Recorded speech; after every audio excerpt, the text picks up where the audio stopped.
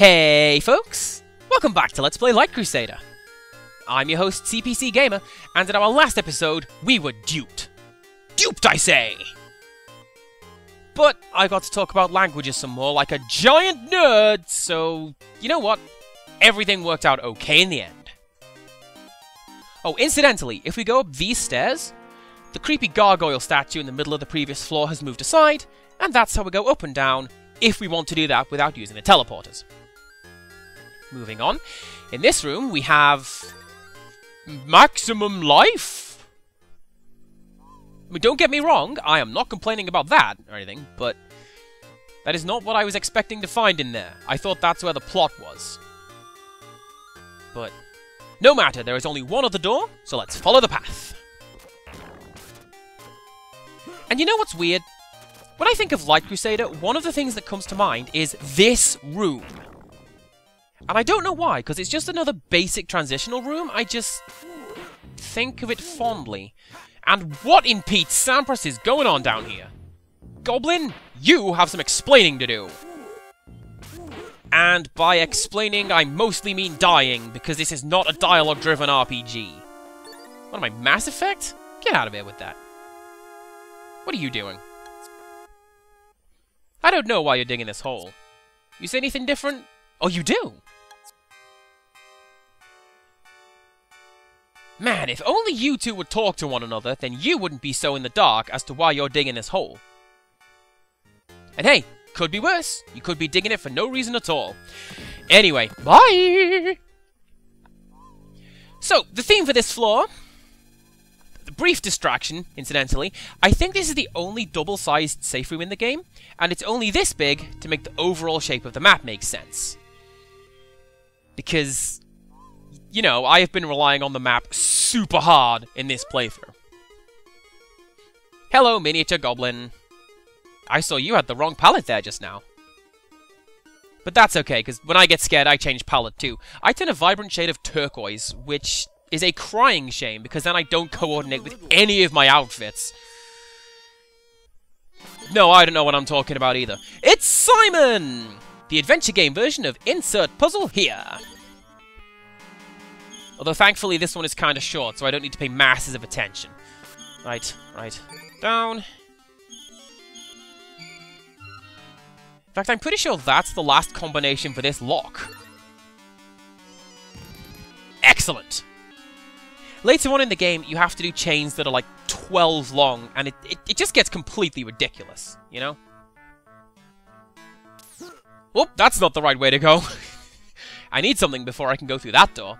So, let's go this way instead. Oh, it's this puzzle! I remember this. This is the other puzzle that uses the time-stopping clock. So, we need to put the bomb with the shortest fuse on the pressure plate, so it will quickly lower and raise the platform. And then the one with the longest fuse needs to go on the platform, so we have time enough to shuffle it round. And then this one, we need to use that one as a platform. And this is something that I worked out on my own when I was younger, and oh goodness was I proud! Like, if you've seen some of the other games that I've played on this channel, you'll know that I'm not super great at puzzle games sometimes. So when I do get something right, it is that much better for it. Alright, let's shuffle... You? So the hanging in midair thing is supposed to happen, but I guess it's stuck on one of the seams? Alright, I can fix this using the tools that I have in my possession. Oh, but not like that. like this! Only properly oriented. Yeah, there we go. The bomb has fallen down, and will hopefully count as close enough. And so it did! Awesome! Now, there is something sinister and nefarious behind that door, so let's go this way and top up our health before we push on. I probably won't need it, but, you know.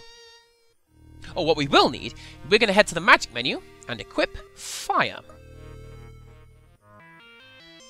Now, let's go. So, you may think that fire won't do a particularly good job, given that we're fighting a dragon and it's submerged in water, but it's actually a really legitimate strategy. I mean, not that we really need to use it, apparently, because we're doing pretty well without. so what I usually do when fighting this boss is to stand on this platform and spam the fireball spell. Reason being, our fireball spell has a longer range than his fireball spell, so we take minimum damage that way. And... and we fall into the water like a nerd. That cracks me up every single time. And it's a shame that we beat that boss as quickly as we did, because I really like its design. Because there's something about a submerged creature that you can only see part of that is just terrifying to me. Like, the head and neck of that dragon were three times our size. Can you imagine the size of the behemoth it was attached to? Because I can. And I don't wanna. Like I say, man, it's terrifying. There. You go there. And that should be enough to solve this puzzle. And so it is. This allows us to collect a costume. And this brings me back... I'm sorry, what? Huh. I didn't know you could do that. If you step in front of the laser beam, it will re-hit switches and stuff when we step back out again. I've only been playing this damn game for like 20 years, and I didn't know you could do that. Anyways, finally finishing that sentence I tried to start just now. The theme of this level is the goblins that we've been finding here and about the game. And to that end, there's a big chunk of rooms in the center of the map that serves as the Goblin Village, and you can just explore. You can go through it at your leisure, and you won't be attacked. Although, before we do, let's see what that costume does, how about? Check out my new cosplay! I'm a goblin! With a weirdly pointy head. But now we look like a goblin, these guys will let us pass. And you can also speak to the goblins in the village, including two that you can trade with, which is actually pretty useful. And you can also do a little sumo match that gets you a bit of money, but not enough money to justify the setup of the whole thing. And I also believe we're stronger when we're wearing the goblin outfit. Like we get a guaranteed... Got that wrong! Let's try that again. But yes, I think we get a guaranteed critical hit every time we attack as a goblin, we are way slower in attacking, so I think, in terms of pure DPS, we're better off just using the sword. Now, that should be okay. Also, I'm pretty sure this isn't the solution to the puzzle. Like, there's a sliding block up there to the right of the room that I'm not using, but this is how I have always solved this puzzle, so this is how we're doing it. See? Problem solved. The barrel is up here and cannot come back down. Unless you push it off the edge, which I have done in the past, and there is just no way of redeeming your cool status when you do that. Like, you have to... You have to go and lie down for a bit. Now, in this room, we can use these lamps to change the direction of the wind, and we need to guide the silver boulder over to the pressure plate. And it's a little unintuitive because the lamps are at cardinal directions, but the wind moves in ordinal directions. Or, look at the wind particles for a better explanation of why that's an issue. I mean, there's no threat of anything, it's just a little frustrating because you have to walk against the wind to move, and you it's just slowly enough to be annoying. I mean, case in point, look at this. And it doesn't help that I'm so used to doing the lunge attack all over the place. But the lunge attack is also affected by the winds, so you'll just keep flying around the room and missing. Not so different from when I normally use the lunge attack, am I right? Yeah. Ah, oh, I thought I could hit the light with magic, but let, let, let's just do it properly. Oh! Bit awkward. Hey guys, don't mind me, just regular, actual goblin coming through. How's it going, Greg? Still holding that rock? Ah, I hear ya. It's a living, right? So there is a neat quirk with the engine. When you're wearing the costume, the goblins won't attack you. And you can even do that on the later levels when you've passed the goblin village. I mean, it's kind of handy because they won't even react if you begin attacking them. Like, they're just constantly flagged as non-hostile as long as you are in disguise. But, like, do you see what I mean about the mace being so much slower than the sword? Legitimately, you're better off just being David and tanking a few hits. Like, you have higher health and the ability to use magic. And speaking of which, bear with me for just one second. Just gonna sort that. Take that off. Go back into here and do a little bit of inventory management. Because, you know, that's what you want when you plunge into an arena fight that you aren't supposed to do until the end of the level. Because these guys are jerks. They are really strong, have a really high chance to just nullify your attacks. I mean, they're also good in close quarters and long-ranged combat. And, I mean, the best trick I found is the Thunder Magic, which, if you catch them in a good arc, will destroy them all in one go. I mean, at the very least, it will hit them, while your slash attacks probably won't. Oh, nice! That's a rare drop! Also thematically incorrect, because bronze is, you know, bronze, not silver. But we have an upgrade from our sword. It's gone from thunder to lightning. We, we skipped an armor slot and gone straight to bronze as well. Oh, and neither of those names were changed internationally. Even in Japanese, they were Raitoningo Sodo to Bronzu Armor. I'm glad those goblins don't mind me stealing their stuff and continuing on with the game. I mean, assuming my stage directions are correct. And I don't think they are, because they sent me that way, which is a side route to get some optional loot, but... You know what, it'll be useful in the long run, so I'm not I'm not too put out by that. Now, we transform into a goblin once more, and continue through the village. I wonder what all the other goblins make of this. Like, here's just this weird pink one strolling around like he owns the place, and occasionally going rogue and murdering them for no reason. Like this guy. Do you have anything to say? Oh, that guy's just worried about his cows. What a hero. And very well remembered anyone who actually did. Well, that's not the right way either. But this is something I like about this particular level. There are lots of rooms with nothing in them to create the idea that this is a village, and these are people's homes. I mean, as with the double-sided safe room, they are here they're there to like make a specific shape with the map, but you know, let's just say it's emergent storytelling and shut up. Oh, speaking of which, right, I asked what did the goblins think of us? Not much is the answer that I'm going to go for, because if you look at it, they absolutely have a caste system going on. Because some goblins have clothes, and some wear rags.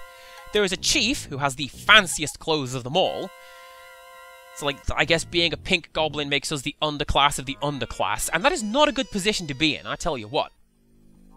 So, you know what? The hell with you! I cast off my goblin clothes and embrace being a human! Because the goblin's HP is capped at 100 for some reason, and we are about to fight a boss. Look at this, it's just, just the most Treasure-y boss in the entire game. Look at it! It's just a bunch of circles pivoting around to make faux 3D shapes, and it looks awesome!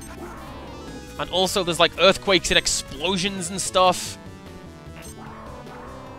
Also, I never took time to use magic against this guy, but I, I think I've seen the error of my ways, because look at how much damage the Thunderbolt's doing.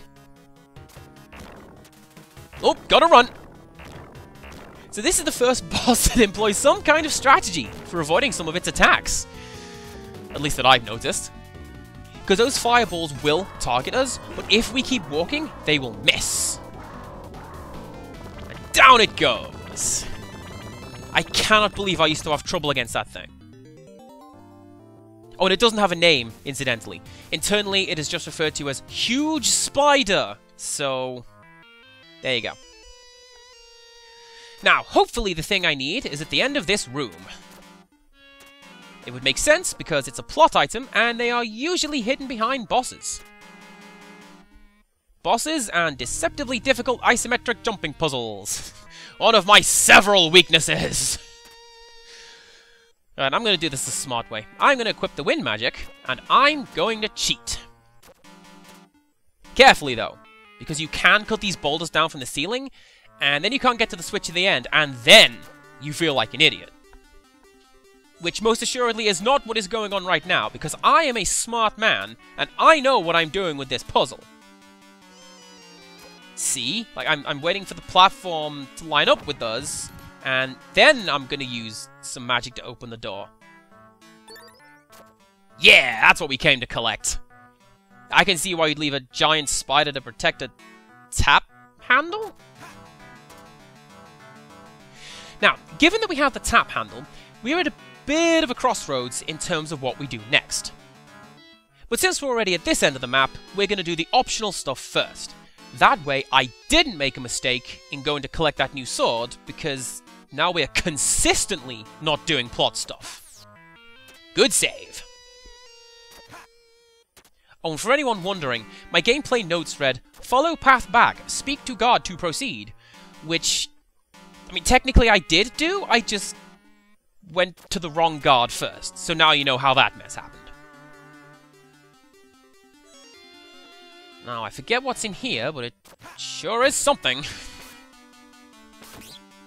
also, there's an interesting thing. The goblins with the crossbows aren't properly flagged. Goblins are supposed to make that ooh noise when you hit them, but this guy's making the generic hit noise. I've only just noticed that. Also, we gained gloves named Power. Something, something, the wizard by Nintendo. Now, you saw this little dealie on the wall? If we use... not that one, the tap handle, the entire basement has flooded, killing everyone in the Goblin Village and every sub-basement for the rest of the game. Truly, we were the biggest monsters of them all. Although, interestingly, I made the Power Glove joke. Not strictly accurate. It's a glove named Power. However, this game does have a separate piece of armor called Power Glove. It's a weird quirk of the original Japanese. Because in the Japanese version, the glove we picked up was called Power Knuckle. So, you know, the power translation makes sense. What the English version calls Power Glove, the Japanese version calls Kote, which can translate to gauntlets, but it can also translate to trowel. So, you, you can see why they'd pick a different name for that especially since Gauntlet is an item we already find in the game. And also, for a bit of behind-the-scenes info, I'm playing this with a GameCube controller. The best controller, fight me, Simon. So you might be wondering, is that why David's movements are all floaty and weird? To which I reply, oh goodness no! This entire game is all floaty and weird. That's just how it is. But I like when games own that, you know? Like, yes, we have screwy physics, so let's make those screwy physics part of the required gameplay. It's like when the Donkey Kong Country guys realized you could do mid-air jumps, so they just put in a bunch of stuff required to do it. Speaking of, let's see how long it takes me to do this. Okay, first time. Why not? do you know how much trouble that series of jumps gave me when I was younger? Because I would always misfire and kick the boulders all around the room, and that, that, that has saved us literally minutes of editing. Now all we need to do is lower the water level again, and return to the Goblin Village to see what our actions have wrought upon these people. Also, right, you know what else held me up when I was younger? I couldn't work out how to take the tap handle off the wall once I'd used it. Because David very clearly leaves it up there, and the sprite persists, so I thought it was a one-use item. Boy, did I feel stupid when it was still in my inventory. okay, this is something that I'm going to show off later. I mentioned it earlier, I think. It, it gives you a little sumo minigame for a chance to win some gold. And we might need it, depending on how my off-screen grinding antics go I mean, those are literally the only two options in the world. Why pretend there is a third? Oh, really? Really, game? Wait, is this the same sequence as before? No, it's going to be even easier somehow. I am fine with that. Okay, right, right, right, up. Through we go! Yeah, let's do the plot stuff first. This is the door that Key 3 opens. And inside, it's Cullen! How is this guy solving all the puzzles and stuff before us? Like, just, how? Again, translation change between versions. In Europe, this guy mentions that the, the princess is studying ancient scripts, while the American version, it mentions, Seek the princess! She can read ancient scripts! without explaining why. And I sure hope that guy managed to escape in the, like, three seconds it took me to get up here and flood the basement. He'll probably be fine, he's survived worse. Incidentally, we have... Oh, that's cool! If the fire magic hits something, then it will either split in two and dissipate, and, and just... The fact that it will react appropriately is a nice little touch that didn't need to be there, but it's so cool that it is! It's like breaking the eggs open before eating them. Anyways, we have everything we need to finish up on level 2 and move on to level 3, but I'm going to keep exploring this way so we can fill out the map and show everything this game has to offer.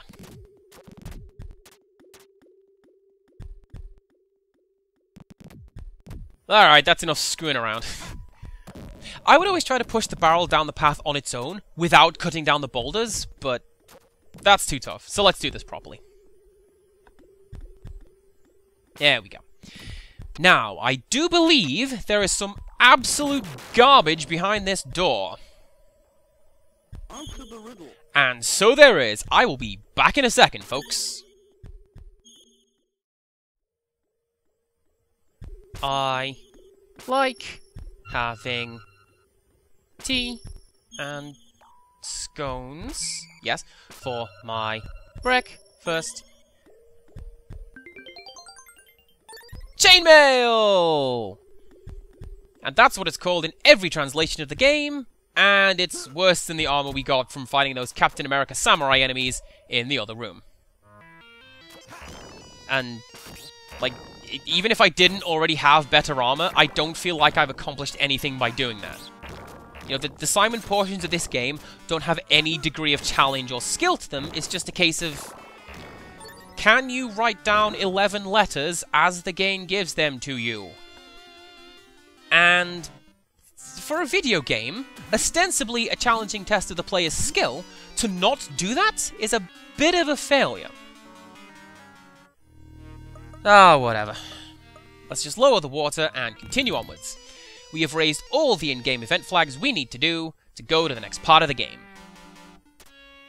But there's a little bit more of the level that actually needs exploring. Although while we do, I have to say I am not overly keen on this level as a whole. Like it, it, it has some good ideas. Um, I like that we have to infiltrate the village to get through, and I like that the map has a lot of empty space suggesting the village is bigger than it is. But it's just... I don't know, it's lacking something. Am I stuck? Okay, no, there we go. but, like, when I'm picking on games, I will often say, it's pretty much just more of it. As in, why would you buy the new FIFA game? It's pretty much just more of it. And that's what this level feels like. Oh, but look at that! The platform dropped off the barrel right where I needed it to be. Like, is that your way of apologizing for me comparing you to FIFA 96 game? Because, because I'll take that. I'm just gonna re-goblin and see what these guys have to say. Bet they'll tell me I smell like a human. Yeah, see you, judgmental dick. Well, you had the wrong color palette. How'd you like them up? Maximum life! How'd you like them maximum life? Because I happen to like it a lot, thank you very much. Along with good sentence structure. Huh. I thought Cullen was supposed to be in that barrel. Like, I am dead sure there's a barrel in this game where you attack it, it explodes, but Cullen just pops out and says hello. Hopefully I'll find it later on, because it's a, it's a really cute little scene. Alright, what do you have to say for yourself? Has he tried looking, like, three screens to the left? Because that's where it was. Also, do you mean this room full of food? Because this isn't a room full of food at all. You've got, like, an ugly carpet, and that's about it. Iron Gate. Hmm. Yep, that's what that is. 10 out of 10 sign. Would read you again. And you know what? I'm not even going to take my costume off. I'm going to infiltrate the castle as a goblin. Now, weirdly, out of all the NPCs in Green Row, there are only four of them that will notice we are a goblin. And the number's only that high because they copied and pasted the palace guard three times. And that's not the room I wanted to go into? it's this one! Probably. Yes! Hey, princess. How's it going? You know, come to think of it, it's pretty cool that you haven't been kidnapped. Because that's the usual role of princesses in this kind of a game. So the stone tablet is probably the most heavily retranslated thing in the game. The UK version feels a lot more Englishy than the American version, um, and in turn, the American version includes some extra lore. Like it says that the titular Light Crusader was created by Garriott and his eight wizards, while the English version just has it as a thing that exists out there in the world to find. Now, before we go back to the labyrinth, I'm going to go this way and collect a red potion that's just out in the open for anyone to claim if they want it. Probably should have collected that in episode 1. You know, it, it, it may have saved my life against the first boss. But whatever, here we are. Now, do you remember in the last episode we found a sextant in a hidden chest? I'm going to show off what it does. Is it that one? Yes! When we use it, it sends us to any teleporter that we have found in the game. And it's also hilarious to 13-year-old me because it has sex in the name.